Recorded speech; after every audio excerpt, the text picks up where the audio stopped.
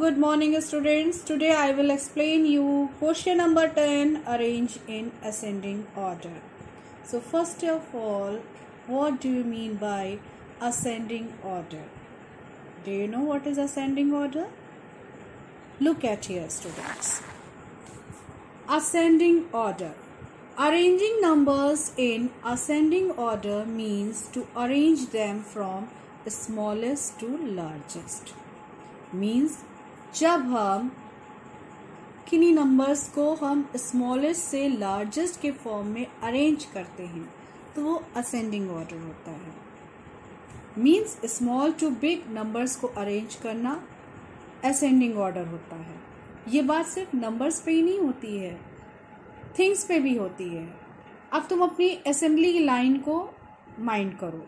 Assembly की line जब तुम लगाते हो तो सबसे पहले कौन सा स्टूडेंट आता है? जो हाइट में सबसे छोटा होता है। फिर उसके बाद उससे टॉल फिर उसके बाद उससे टॉल फिर उसके बाद उससे टॉल इस तरह हम अपनी लाइन अरेंज करते हैं। तो जो लाइन होती है, उसे हम आगे से अगर देखेंगे तो वो कौन सी लाइन हुई असेंडिंग ऑर्डर हुई clear ascending order means small to big जाना। Okay going to small to big छोटे से बड़े की ओर बढ़ना असेंडिंग ऑर्डर होगा। For example here are some numbers nine eight ten eleven sixteen you have to arrange these all numbers in ascending order how first of all you will find here smallest number which one is the smallest here 9 or 8 or 10? Which one? Yes, 8. 8 is the smallest number from here. So you will write first 8. Okay. After that, 8 हमने लिख लिया. After that, which is the smallest number of these, uh, these numbers? 9. So you will write here 9 After that 10 after that 11 after that 16 so this is ascending order small to big okay arrange all the numbers from smallest to largest is called ascending order okay students अब तुम इसको अपनी assembly की line से compare कर लो देखो सबसे छोटा सबसे पहले, फिर उससे बड़ा, फिर उससे बड़ा, फिर उससे बड़ा, फिर उससे बड़ा, है ना?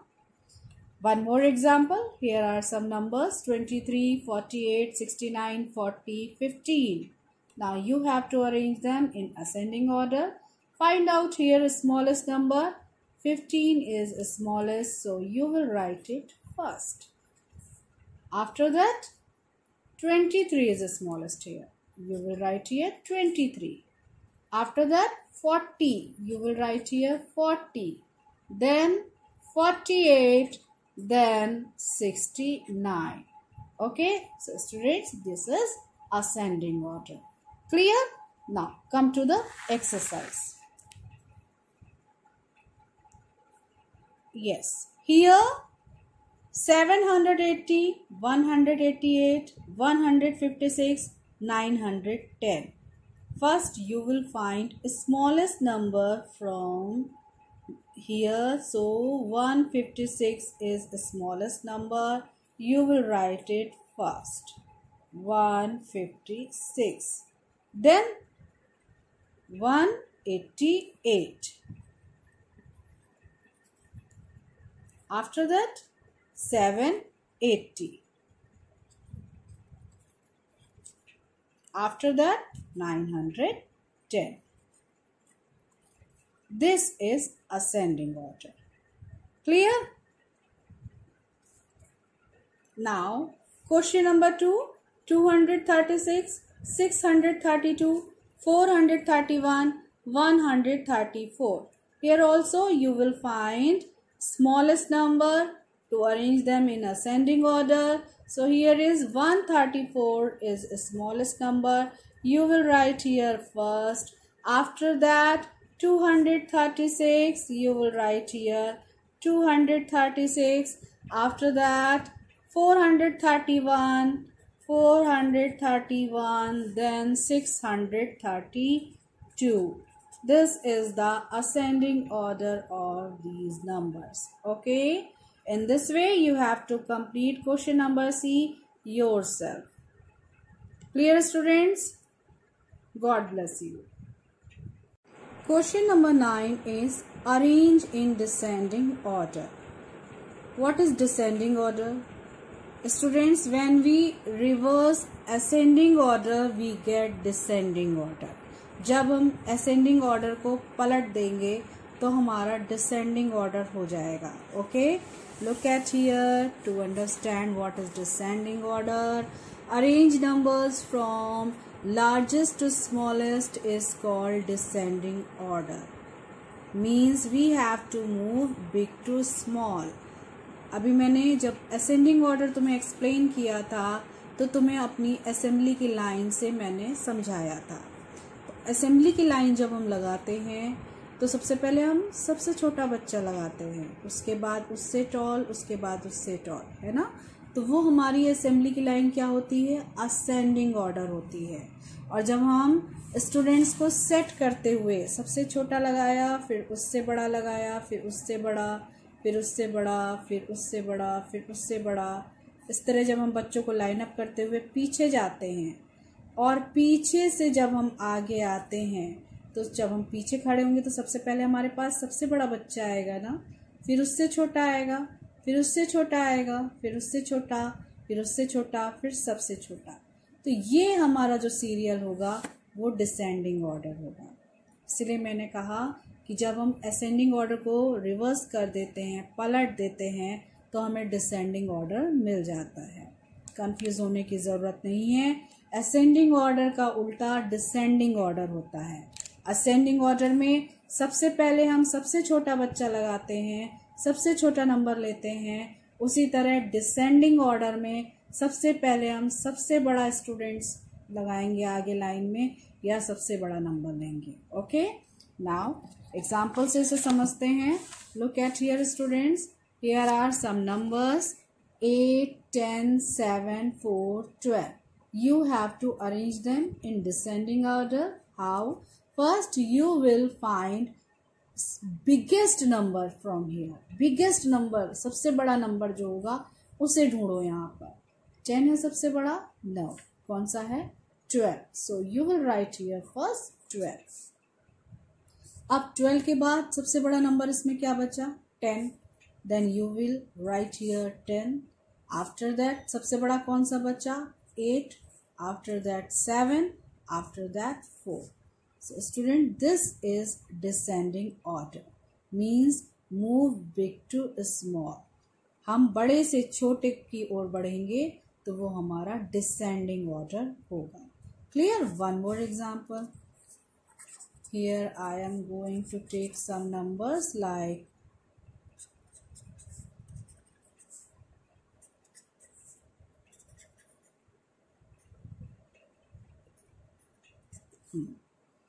Now arrange them in descending order. First of all, you have to find your biggest number. Which one is biggest here? 39. So you will write it first 39. After that 20 is biggest here. After that 17, then 14, then 4. So student, this is descending order. Clear? Now come to the exercise. Here 318, 813, 331, 118. Which one is biggest here?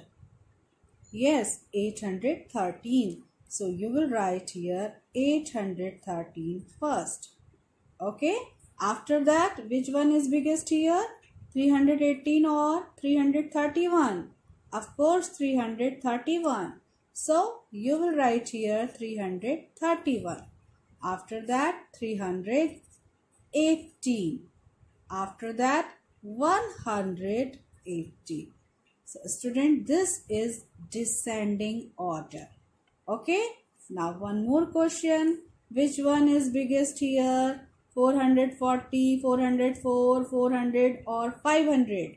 Yes, 500. You will write here 500 first. After that, 440 is biggest one. You will write here 440, then 400, then 400, sorry, 404, then 400. Okay? Clear? 500, 440, 404 and 400. This is descending order. Now question number C, do it yourself. So students, today's homework is question number 9C and 10C. Okay, clear? Do it yourself. Now, come to the question number 11. Observe the pattern and complete the blanks. You have to complete all the line. First, you will observe the pattern. Now, here is 356. After that, 358. After that 360. Then what will come here? Here you can observe 2 2 number are increasing here. दो दो number बढ़ते जा रहे हैं 56 था then 58 हो गया then 60 हो गया then 362 will come. After that 364 then 366 then three hundred sixty six three hundred sixty eight हमने सभी में टू टू नंबर ऐड कर लिए, तब हमने इस टेबल को कंप्लीट किया। फिफ्टी सिक्स था टू ऐड किया था फिफ्टी एट हो गया था थ्री हंड्रेड फिफ्टी एट 358 में फिर टू प्लस किया 360 हो गया। 360 में फिर टू ऐड किया 362 देन फिर टू ऐड किया 364 देन फिर टू ऐड किया 366 देन फिर टू ऐड किया 368 ओके नाउ नेक्स्ट 300 400 500 300 के बाद 400 आ गया मीन्स हंड्रेड ऐड हो गया इसमें। थ्री हंड्रेड में वन हंड्रेड ऐड किया तो फोर हंड्रेड फोर हंड्रेड में हंड्रेड ऐड किया फाइव हंड्रेड फाइव हंड्रेड में हंड्रेड ऐड करेंगे सिक्स हंड्रेड अब सिक्स हंड्रेड में फिर से हंड्रेड ऐड किया सेवन हंड्रेड सेवन हंड्रेड में फिर हंड्रेड ऐड करेंगे eight hundred then eight hundred में फिर हंड्रेड ऐड करेंगे nine hundred. Okay now next one 510, 520, 530. 510 था फ़र्स्ट नंबर फिर 520 हो गया। मीन्स टेन ऐड किया गया है। 20 के बाद 30 हो गया। टेन ऐड किया है। Then 530 plus 10 what will come here?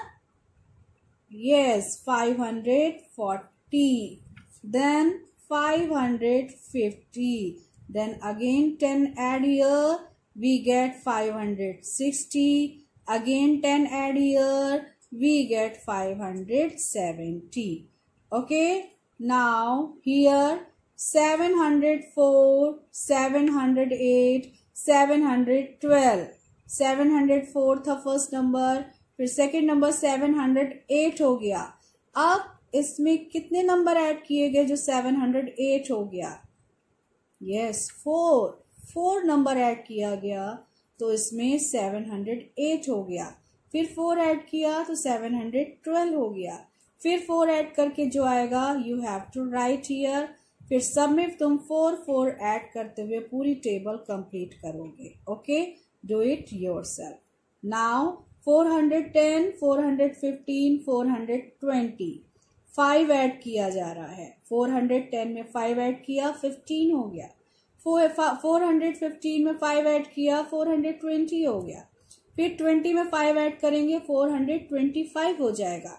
इसी तरह फाइव फाइव ऐड करते जाएँगे और नंबर हम लिखते जाएँगे। So students do it yourself okay In this way, you have to complete question number 9, 10, 11 in your book. Now, come to the next page, question number 12. Count the beads, write the numbers and their names. First, you have to count the beads. How many beads are here? 1, 2, 3, 4. So, you will write here 4. Then, here no beads. So, you will write 0. And here 1 2 3 4 5 okay? So you will write here 5 now you get number 504 504 and write it in number names. Okay? So you will write here 5 hundred four. Okay? In this way you have to complete question number b and c yourself. Do it in your book. So students today you will complete exercise 1.1 okay? Clear? God bless you